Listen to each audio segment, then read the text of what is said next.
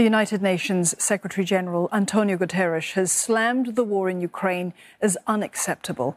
He says it's an absurdity in the 21st century. The UN chief is in Kyiv for talks with President Volodymyr Zelensky to help broker peace and to facilitate the evacuation of civilians from the war torn country. Mr. Guterres has visited towns around the capital that suffered serious damage while under Russian occupation. They include Borodyanka, Bucha, and Irpin, where Russian forces were accused of killing civilians.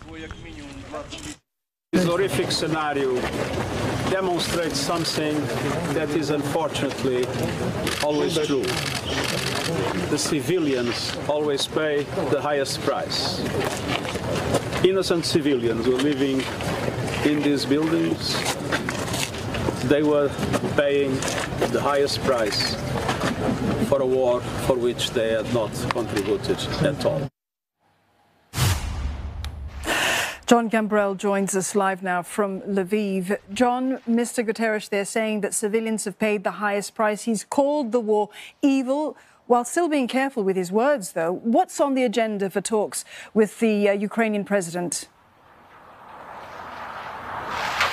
One thing that does seem to be a, a matter of focus for uh, Guterres as he's here is the ongoing uh, Russian besiegement of the port city of Mariupol. You may remember that there's a steel mill there where there are fighters and civilians deep inside a labyrinth of tunnels that are built to withstand airstrikes. This is a Soviet era massive facility there that has been just the target of repeated airstrikes and uh, other missile strikes in the last couple of days.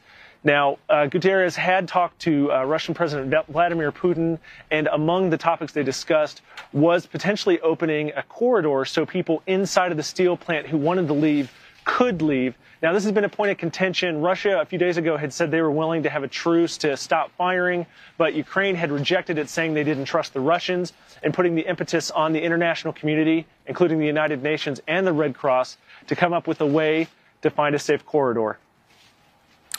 John, meantime, there are these growing hints from Ukrainian officials themselves that they may be willing to strike inside Russia itself, or perhaps that they already have. What more can you tell us about that?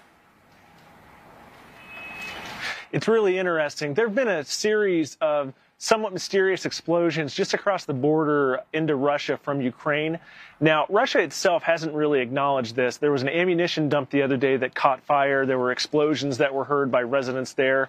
And there's also been two fuel depots in the last couple of weeks that also have gone up in flames with explosions.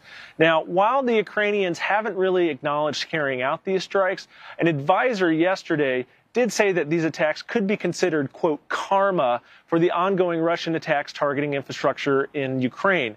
One thing to keep in mind is that Ukraine does have the ability to launch these kind of attacks. It still appears to have attack helicopters that could fly into that Russian territory, and perhaps otherwise it could be using these Turkish made drones that they've had great success with during the campaign to fly in and drop a missile or a bomb and then fly back out undetected. John, thank you for that update. Jon Gambrell there reporting for us from Lviv.